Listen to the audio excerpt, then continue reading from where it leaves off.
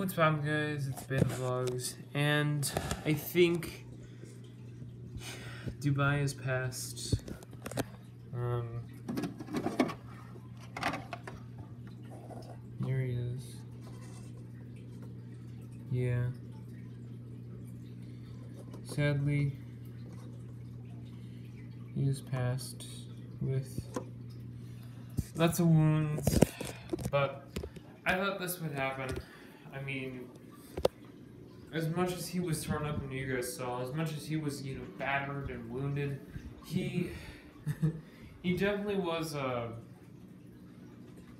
he wasn't looking well at all. So I mean I tried what I could, I just stuck to what I knew.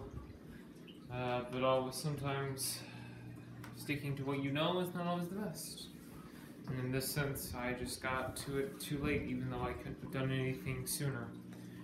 So, these things happen, and it was kind of funny. I was talking to my dad about this, and I said a while back, I had two bettas that were female and male, like these two are, and they were living in the same kind of tank situation, you know, divider, uh, for some reason, I forget why.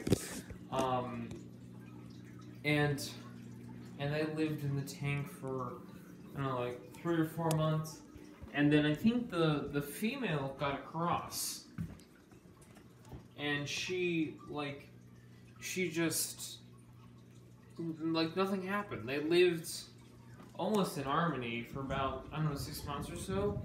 It's probably an old video you guys gotta go find if anything. I'm not sure where it is or if it's even a thing. I know it's a thing, I just don't know where to be at. But I... I just remember that. I thought that was just kind of strange, just like the different perspectives of different types of fish.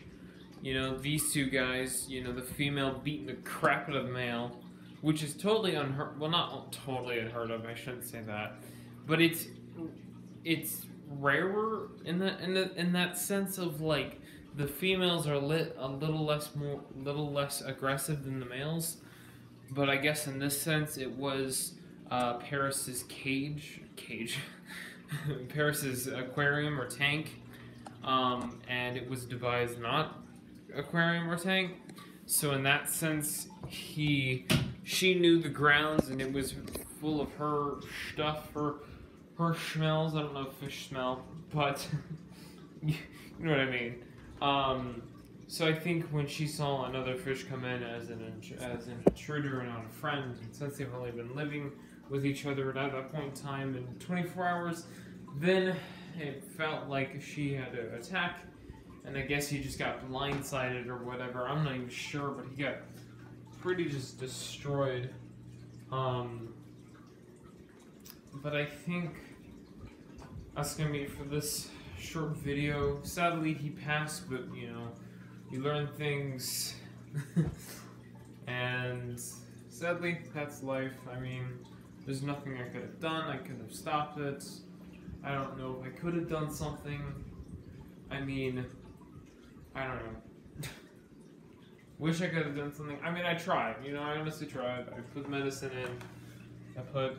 I have it right here. I put BettaFix in. It helps fins and skins and oh, and bones and crap and whatever. Um, but you know, it, I tried put some salt in, thinking that would help. uh, I don't know. I'm not. I'm just ranting and just kind of thinking of like, well, maybe that happened, but if that happened, then this happened, then that happened, and it's a whole ordeal that I'd rather not think about. So I guess I'll leave it to this. Uh, leave a like if you like this video, even though it's kind of a sadder video.